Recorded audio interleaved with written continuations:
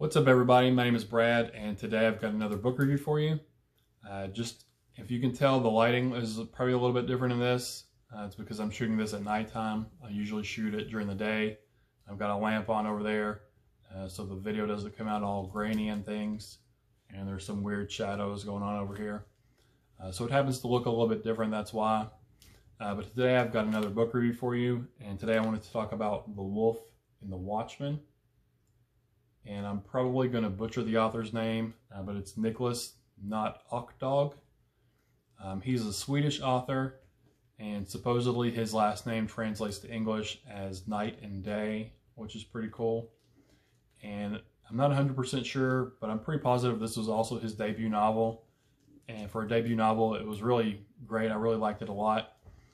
Um, it's a historical fiction, sort of crime procedural um, murder mystery novel. Um, it's set in 1793 on the Southern Isles of Stockholm. Uh, the book throughout, it's broken up into different parts. Uh, throughout the different parts, it follows a few different characters' perspectives. And I'm really going to try not to spoil anything. Uh, anything I talk about is basically going to be on the inside blurb of the book. Uh, but the different characters' perspectives, at first it sort of jarred me because it completely switched from who was talking about in part one and I was like, you know, who is this person? Where are they coming from? What's going on with them?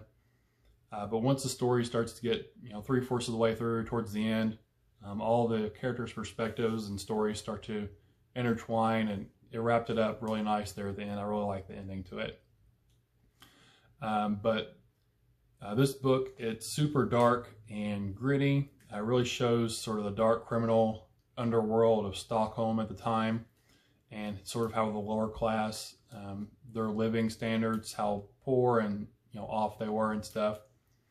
Um, it's also got some really grisly, brutal scenes of violence in the book, uh, which I really enjoyed those scenes. Uh, so if you like violence and gore and stuff, you'll really, I think you'll really dig this book.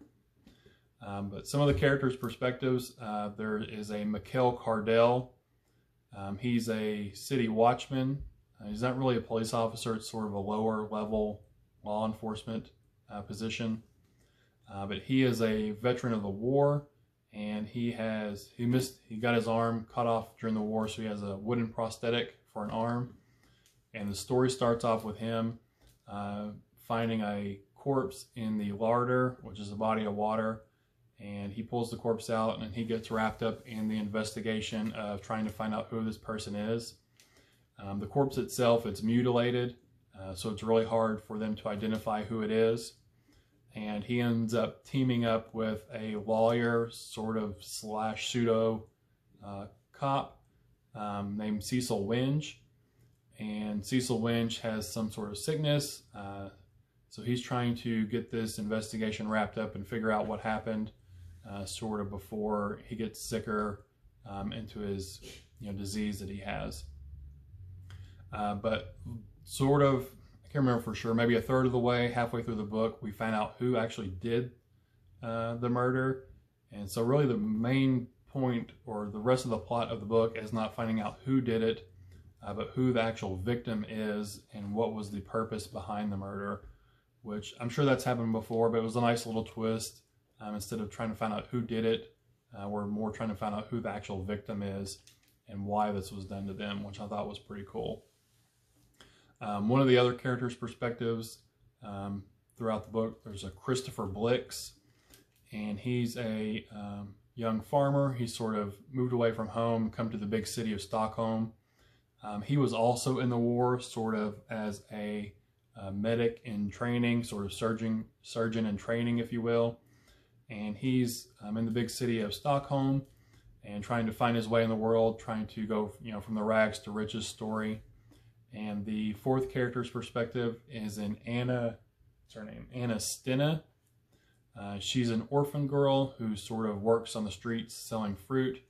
And something happens to her where she gets put into a workhouse.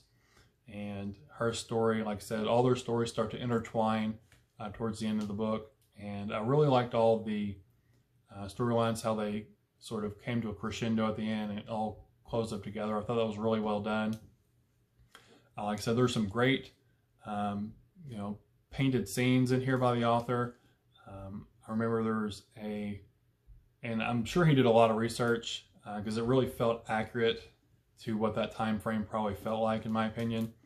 Uh, there's a scene near the beginning of the book where someone's going to the um, stocks, or what do you call it, to be hung, and there's a bar where you know the condemned who are going to die they stop in and they have a drink, uh, whatever the liquor is, and the the bar they carve their name into the little shot glass and they put it up on the wall, and there's hundreds or so of shot glasses on the wall, and patrons will come in and pay a certain percentage or pay a certain amount uh, to drink out of the the dead person's glass, and based on whatever the crime was, will be more expensive, you know, for the shot. So a murder would be more expensive than someone for, you know, who maybe someone who stole something or something like that.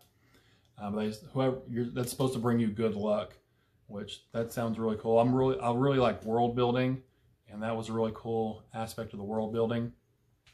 Uh, there's another I can't remember if it's the same bar or a different bar uh, there's a scene painted on the wall, and it's sort of all covered over with ash and smoke, you know, from years of fireplace and people smoking and stuff. And it's, if I remember correctly, it's people dancing, and there's sort of a grim reaper in the middle, the skeletal figure. Uh, so scenes like that really painted a really vivid picture of, uh, you know, what the people's surroundings are like, what the characters' surroundings are like, and sort of the everyday life of Stockholm, which I really enjoyed. Uh, overall, though, I think I, I gave this book a four stars. Uh, four star read for me. I really enjoyed it, especially if this, I think it is a debut novel, especially for a debut novel, it was really great. Um, so if you're into um, historical fiction at all, or you know, sort of murder, you know, crime procedurals, I think you'll really enjoy this. I suggest you check it out. Again, that is The Wolf and the Watchman by Nicholas Nicholas Not Ockdog. Sorry, I'm probably butchering his name, but That's that's what it looks like to me. But have you read this book?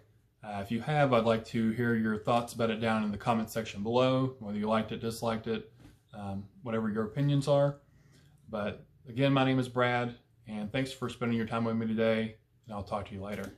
Bye.